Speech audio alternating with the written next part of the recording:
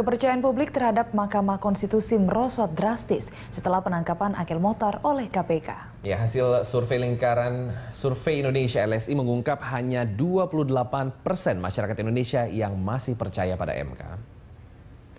Survei LSI menyebutkan sebanyak 66,5 persen responden mengaku sudah tidak percaya lagi kepada MK. Sisanya 28 persen responden yang mengatakan masih percaya.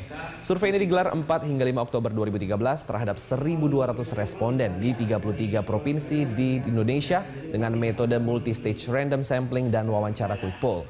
Adapun margin of error atau tingkat kesalahan survei ini 2,9 persen. Hasil survei setelah Akil tertangkap KPK ini berbeda jauh dibanding dengan survei yang dilakukan pada Oktober 2010 sampai Maret 2013, yang mana masyarakat masih memiliki tingkat kepercayaan di atas 60 persen kepada MK.